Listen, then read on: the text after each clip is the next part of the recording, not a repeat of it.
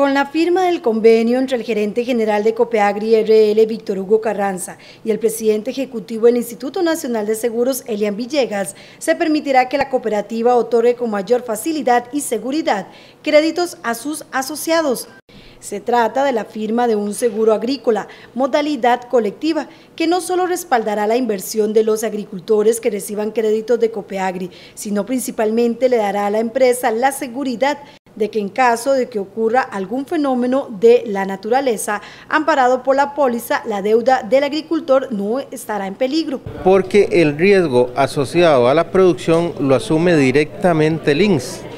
Es una situación donde nosotros lo que le estamos diciendo es, por una prima nosotros nos vamos, vamos a tomar el riesgo de lo que es propiamente la producción agropecuaria y ese riesgo nosotros nos vamos a encargar, de forma tal que si en el futuro existe una, una pérdida, consecuencia, por ejemplo, en este momento, de fenómenos como todos los que están asociados al cambio climático, entonces esa pérdida será asumida directamente por el INSS. Esto le permite a todos estos productores que los bancos los vean con un perfil de riesgo totalmente diferente. Eh, en el marco, diría también, del 56 aniversario de nuestra cooperativa, ¿verdad? Estamos, eh, hemos venido celebrando con la comunidad, con nuestros asociados, con los fundadores, eh, un momento tan importante como lo fue nuestra, la fundación de nuestra cooperativa.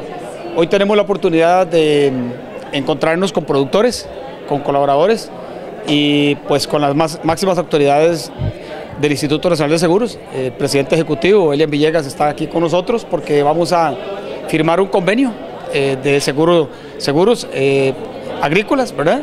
Eh, lo cual para nosotros representa pues, un importante paso, porque mm, históricamente este producto pues, no lo hemos podido ofertar a nuestros eh, asociados productores. En cuanto a la prima o costo del seguro, este dependerá del monto de inversión que realice cada productor en su parcela.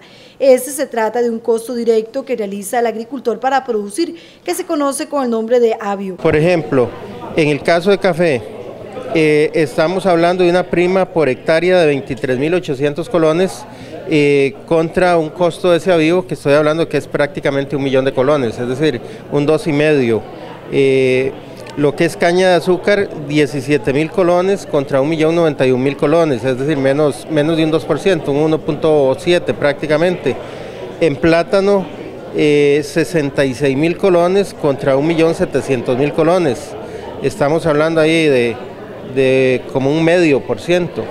Entonces son tarifas que van, van, a variar en función de los cultivos. El seguro agrícola es una póliza que cubre la inversión realizada por los agricultores en sus cultivos cuando estos sufran algún siniestro de carácter climático biológico, desde la germinación o arraigo hasta la cosecha. Aquí va a haber eh, situaciones de precio y sobre todo Copeagri está protegiendo eh, su cartera y está protegiendo a su gente. Les está diciendo que en esta situación particular nosotros estamos dispuestos a abrir nuestras líneas de crédito, tomen el seguro, estamos con ustedes, queremos para proteger a nuestros asociados que ustedes cuenten con ese seguro, eso le da protección a ustedes y protege al resto de nuestros asociados porque está protegiendo la cartera.